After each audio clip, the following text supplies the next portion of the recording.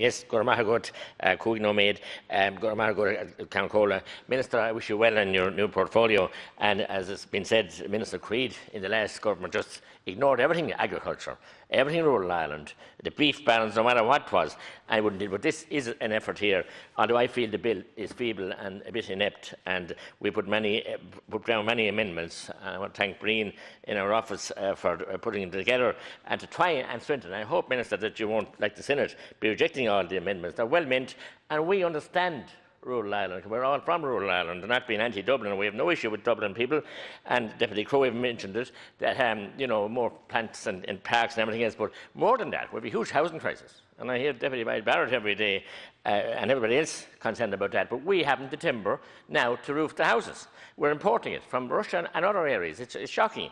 Um, I'd like to salute uh, Medite and Clonmel and SmartPly Waterford for the excellent skills they have and employment they give and excellent use and finished product. They come on in, in leaps and bounds. And Pat Beardmore there, uh, the manager, manager there on the plant in, in, in and, and give 300 jobs between them. But at the moment, um, Minister, uh, the whole situation is grinding to a halt. It's below its knees because of objections and because of, and uh, the department have to take some responsibility too, because they haven't been dealing with him fast enough. But then the, the tree huggers, as I said yesterday, took on a new role of objecting, objecting, and they're hundreds of miles away from some of the objections. I had no problem with a person, uh, whatever they're planning for a hen house or a Georgian building. You have to have planning process and you have to have a right of objection. No problem with that. Where you're materially affected with light or with roads or with anything else. But people, uh, as I said, hundreds of miles away having the right to object and hold up uh, the progress is shocking. Farmers have planted forestry 50, 45 years ago as a pension scheme. Some of them got grants to do it. Some of them planted good land, which is a shame, but nonetheless they played their part, and now it's ready for harvest and are not being allowed to cut it, and have held up for two years. Uh, forestry contractors, some of them have two million worth of, of, of equipment, encouraged to buy them because we're expecting to have uh, an output uh, far away than what we have. We're only at a quarter of our output that we should be at. The hauliers then, the sawmills, of which there are many, and like to uh, salute uh, Sheehan's and Burncut, and the O'Grady's in Hollyford, and indeed Drohan Sawmills in Clonmel, named after late uh, Frank Drohan, uh, a freedom fighter, and indeed ran now by Junior Pollard. There are many that I'm only mentioning a few. And the employment they give and the source of, you know, joy they give. And this time of year, people would be out on their Christmas, uh, you know, um, Santa cribs and everything else from them, and, and, and, and uh, playhouses and you name it. It's supplying an urban market as well as a rural market. But this thing has gone into complete chaos. As I said, the last minister and his Fine Gael government, they forgot about, and supported by Fianna Fáil, uh, confidence about, forgot completely about rural Ireland. You think none of them lived in rural Ireland, and they abandoned rural Ireland across a whole plethora, and successive governments for the last 15 years. But this is crisis.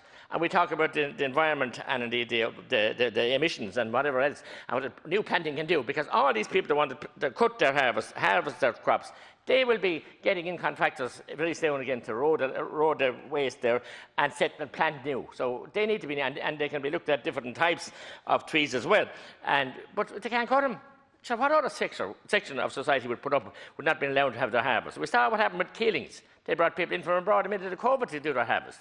We saw the supports given different, different years for the harvest of the corn if you don't have the harvest, the harvest is rich, the labourers are few. If you don't have the harvest, I mean, we have nothing in an industry. So they have been denied all that. And I want to say that it's time that the serial objectives, as I said, it's a 2.3 billion worth uh, economy worth to, uh, to, Ireland, and most of that is in rural Ireland. And I've seen the forestry in Fairneston. They can make roads better than any county councils, and they have drainage systems that are impeccable, and they could teach the councils in a lot of cases uh, how to make the roads. So we need to, as I said, um, look after the jobs look after the farmers, look after the contractors. These are all people that put their investment in, in huge investments in machinery, in trucks, in the sawmills, upgrading their machinery, and if in the final product for um, building houses and roofs. I'm doing a renovation myself at the moment, and the builder has great difficulty in getting timber. So how are we going to get the houses if we haven't this? So we have the cat before the horse.